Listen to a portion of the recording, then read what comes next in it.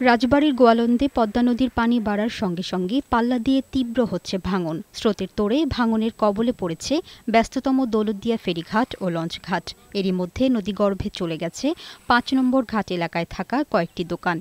ভাঙনের মুখে সরিয়ে নেওয়া হয়েছে হোটেল ও দোকান। স্থানীয়দের অভিযোগ প্রতি বছরই বর্ষা মৌসুমের ভাঙনে বালুর বস্তা ফেলেই দায় সারে কর্তৃপক্ষ যাতে ভাঙন ঠেকানো যায় না। গত কয়েক বছরে নদী গর্ভে বিলীন হয়েছে দৌলতদিয়ার অন্তত পনেরো হাজার বসতবাড়ি সহ বহু স্থাপনা। দশ বারো বছর যাবৎ শুনতেছি যে এখানে নদী শাসন হবে শাসন হবে। কিন্তু আজ পর্যন্ত এই কোনো কার্যকলাপ দেখতে পারতেছি না। ভাঙতেছে আমরা কোথায় যাব? বলতে পারতেছি না। এদিকে ভাঙন রোধে স্থায়ী পদক্ষেপ নেওয়া হবে বলে জানিয়েছেন বিআইডব্লিউটি এর এই কর্মকর্তা। পাটুরে দৌলতিয়া নদীবন্ধ আবেদন খান একটা বড় প্রজেক্ট আছে।